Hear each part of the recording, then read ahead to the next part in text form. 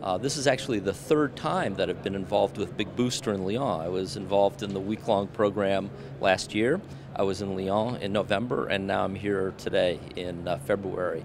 And two things impressed me about the Big Booster program, uh, having seen now all these companies over three sessions. First, they're so much more advanced than many of the other companies that we have at Mass Challenge and many of the companies that we see in the other bridge programs that Mass Challenge has.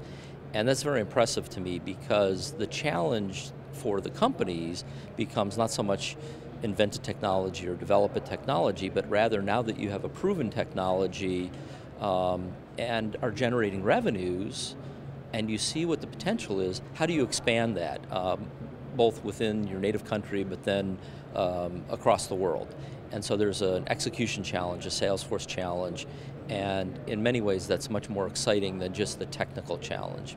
The second thing that's been very impressive to me about the Big, Bo Big Booster program is that having seen some of the same companies in November in Lyon and then seeing them again here, just how much progress they've made in a few months with their presentation, with their plans and with their um, the opportunities that they're pursuing. It's just very exciting to see that much progress being made so quickly. So it's a great program. I really enjoy the people and have had a great time. So thank you very much.